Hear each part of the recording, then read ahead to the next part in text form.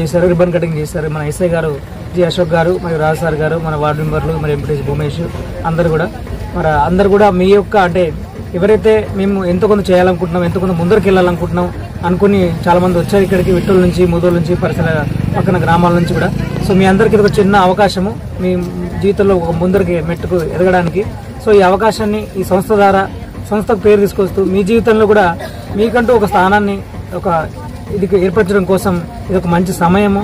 So ఈ వంద రోజులు మంచి ఉపయోగించుకొని మీ యొక్క జీవితాన్ని మరింత ముందుకు తీసుకెళ్ళడానికి ఈ సంస్థ వారి ద్వారా ఇచ్చే అవకాశాన్ని సద్వినియోగపరచుకుంటారని వంద శాతము వీరి యొక్క సేవల్ని మీరు ఉపయోగించుకొని మీ జీవితంలో ముందుకు పోవటకు సంస్థ ద్వారా అలాగే మా గ్రామ పంచాయతీ తరపున సాయం అయితే మేము చేయడానికి సిద్ధంగా ఉన్నాము. స్థలం గురించి కూడా ఒక వారం రోజులలో నేను అది కింద మేట వేయించి రెండు నాలుగు ఫ్యాన్లు పెట్టిస్తాను.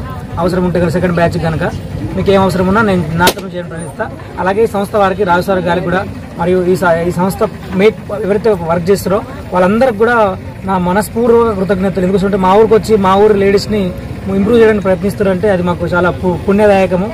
ఏ రోజు దొరుకుతుందో మరి రిటర్న్ బ్యాక్ గిఫ్ట్ ఇవ్వడానికి చూద్దాం. నా ప్రయత్నం నేను ప్రయత్నిస్తాను మన నిర్మల్ జిల్లా ముదల్ మండల కేంద్రంలో ఈరోజు టైలరింగ్ అండ్ ఎంబ్రాయిడింగ్ సెంటర్ ప్రారంభం జరిగింది. ఇటు ఇటు కార్యక్రమానికి ఇచ్చేసినటువంటి సర్పంచ్ గారికి మరియు ఎంపీటీసీ వినోద్ సార్ గారికి వార్డు మెంబర్స్ ఎస్ఐ అశోక్ గారికి పత్రిక విలేకరులందరూ కూడా డెబ్బై ఒకటవ గణతంత్ర దినోత్సవం తెలియజేస్తూ ఈరోజు ఈ సెంటర్ను ప్రారంభం జరిగింది. మరి ఈ సెంటర్ ముఖ్య ఉద్దేశం ఏంటంటే గ్రామీణ ప్రాంతాల్లో ఉన్నటువంటి మహిళలు ఎవరైతే ఇంటి వద్ద ఉంటారో వాళ్ళకు సెల్ఫ్ ఎంప్లాయ్మెంట్ కింద వాళ్ళకు జీవనోపాధి కల్పించాలనే ఉద్దేశంతో మా సిడిఓ సంస్థ ఎండి ప్రసన్న కుమార్ మరియు జిఎం హరిబాబు సార్ గారు సిజిఎం మన Venugopal sir AGM Bhagat sir గారు మరి మాకు ఈ నిర్మల్ ఆదిలాబాద్ డిస్టిక్ నాకు డీజీఎం ఇవ్వడం జరిగింది.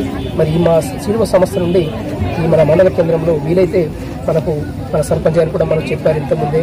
గ్రామీణ ప్రాంతాల్లో జీపీలో మరి ఇటువంటి అనేకమైన సెంటర్స్ కూడా ప్రారంభించాలనుకుంటున్నాం మరి మీరందరూ కూడా ఈ అవకాశాన్ని కూడా వినియోగించుకొని ఈ వంద రోజుల ప్రోగ్రాంలో మీరు కూడా వచ్చి ఉచితంగా కుటుంబ శిక్షణ కేంద్రాన్ని వినియోగించుకొని కోరుకుంటూ మరి అవకాశం చూడండి అందరూ కూడా కృతజ్ఞతలు ఇస్తూ ముగిస్తున్నాం